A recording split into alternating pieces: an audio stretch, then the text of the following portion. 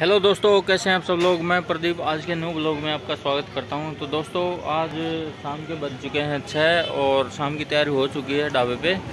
सारी setting waiting साफ़ सफ़ाई हो चुकी है, आप देख सकते हो। अभी आज के न्यू ब्लॉग में मैं आपको दिखाने वाला हूँ कि हमने कुछ नया किया है आज, और वो आपको दिखाएँगे।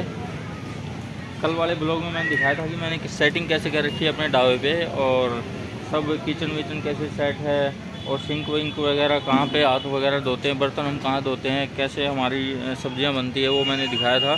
तो आज के ब्लॉग में मैं दिखाने वाला हूँ। आज हमने कुछ नया किया है और नया हमने ये किया है कि हमने जो, या भी सामने आप देख सकते हो, एक दुकान है, ठीक है? ये वाली, जहाँ पे काउंटर रखा हुआ है।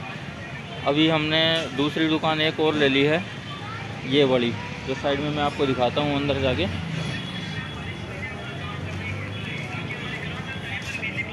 ये वाली ये ये दुकान हमने ले ली है। यहाँ पे ये, उसके बगल में ही है। आप देख सकते हो बाहर का व्यू यहाँ से। काफ़ी ज़्यादा चौड़ी तो नहीं है ये बट है थोड़ी सी। ठीक है। यहाँ पे क्या हम क्या करेंगे? यहाँ पे उस साइड से जो, दिखाता हूँ। ये उस साइड से जो ये किचन है हमारी, ये वाली जो किचन है ये सारा किचन है और अंदर जो किचन हमने सेट कर रखी है, बर्तन वर्तन धोने की सिंक वगैरह लगा रखी है, वो सारी हम वहाँ से उठा के और इधर इस दुकान के सामने रखेंगे। ठीक है? इस दुकान के सामने रख देंगे और ये हमारे काउंटर वगैरह इस दुकान के सामने आ जाएँगे। तो उस दुकान में केवल सीटिंग हम रखेंगे।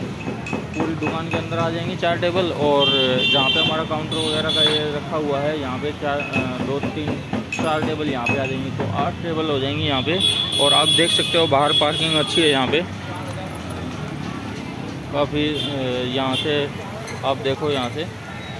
तो पूरा जगह पड़ी हुई है मैं यहाँ पे रोड पे खड़ा हूँ यहाँ पे।